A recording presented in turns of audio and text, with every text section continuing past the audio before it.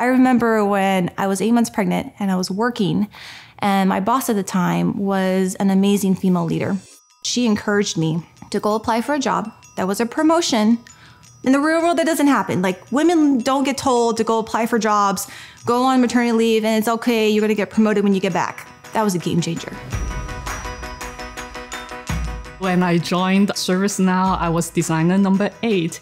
And throughout um, these six years, we grew so much.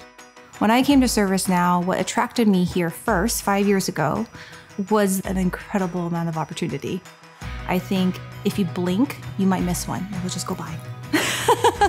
When my husband he got his offer from his MBA school in Paris. He was very happy. I was very happy for him, but I was also a little bit panicking. And my manager told me that, well, you know, there's the performance analytics and reporting team in Amsterdam. So not only did I get the support to move to France to be with my husband, actually I got this opportunity to lead a product team there to advance my career in this company, I would say change is only constant, right? But I think being humble about it and saying, teach me, help me learn, has been a foundation in terms of my success.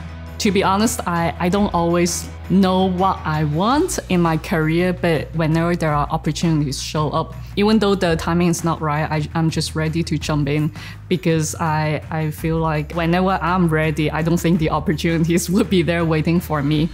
If you never ask the question, no one knows you're lost. So I would say the same advice for women in tech like, speak up. Sometimes we feel a little bit self conscious. We may feel intimidated, or maybe we're too shy to share our point of view. But in order to make an impact, we need to be able to trust our voice. Do I think I have another five years here? Absolutely. Like, this place is amazing. It's a rocket ship, so if you can stay on board and ride it, you'll be super successful.